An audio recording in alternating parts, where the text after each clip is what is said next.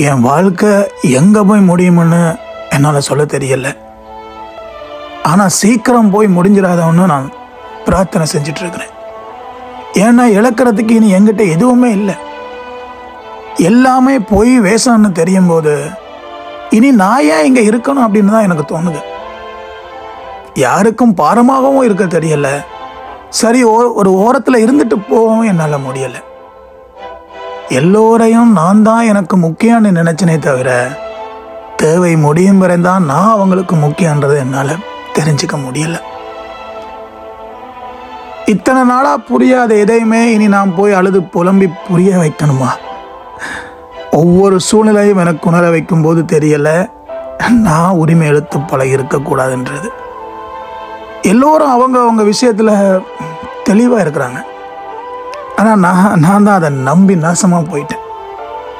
சாமர்த்தியமாக பேசி ஏமாத்துறவங்கிட்ட இந்த அன்பு பாசம் நேசத்தை நாம் எதிர்பார்த்ததே என்னுடைய தப்பு தான் யார் எப்படி மாறுவாங்க அப்படின்றது எனக்கு சத்தியமாக இது வரைக்கும் தெரியாது.